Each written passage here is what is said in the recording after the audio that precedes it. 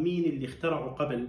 هل طبيب الأعصاب أم طبيب العيون؟ المهم ما علينا نحكي لكم القصة كالتالي. إنه كان يجي طبيب الأعصاب كان يجي أشخاص عشان يحقنهم للميجرين اللي هو الشقيقة وألم الرأس. فكان مثلا يجي شخص يحكي له أنا عندي مثلا من هون لهون عندي شقيقة.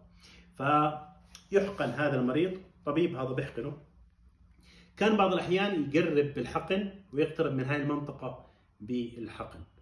فكانوا المرضى يروحوا ويرجعوا له بعد فترة يحكوا له دكتور إنه أنا صح راح من عندي الشقيقه أو خف الصداع لكن الغريب بالموضوع إنه التجاعيد اللي هون اختفت. مرة على مرة طبيب عيون برضه هو فذ لقط هذا الموضوع ومباشرة من أوائل الشركات كانت شركة اليرجان اللي دخلت على هذا الموضوع وصارت تصنعه. ومنظمه الغذاء والدواء بال 2001 أعطت approval له إنه يبلش ينحقن كمادة للتجميل.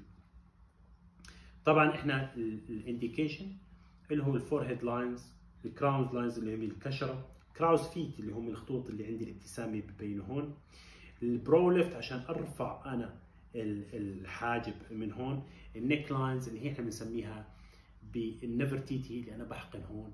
وهاي الرفعة اللي بسموها هسه البنات cat eyes بنرفع فيها إحنا العيون. انه ال hyperhidrosis اللي هو التعرق إذا كان بتحت الإبط أو بالقدمين أو بالإيدين.